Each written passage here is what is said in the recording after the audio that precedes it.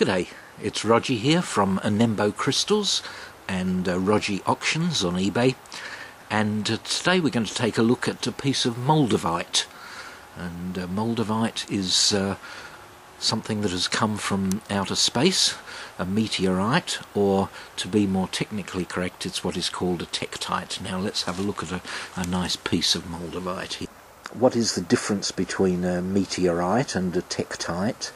They both have come to planet Earth from space, but a meteorite uh, normally uh, is a metallic item. Uh, they mostly consist of iron and nickel and a number of other trace uh, metals in there.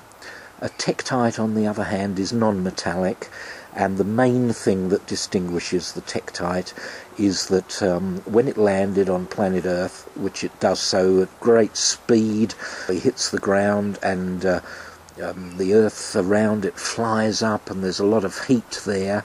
And what happens is the actual the moldavite has mixed with some of planet earth. And so what you're left with the little fragments are not purely what has come from space. They may have some of earth matter in them as well. Just pick it up uh, in my hand just show you the so you can sort of gauge the size of this particular piece. Also just hold it up um, into a, a, lit area there so you can just see a little of the colour of this. Uh, let's try it up here.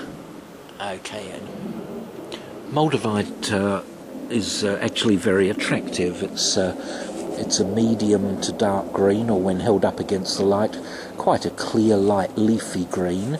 Um, it does get used as jewellery a bit. It can be polished and uh, shaped into a pendant or as a gem in a ring. So I hope you've enjoyed this, uh, and uh, I'll catch up with you again. This is Rogi saying goodbye for now. Bye.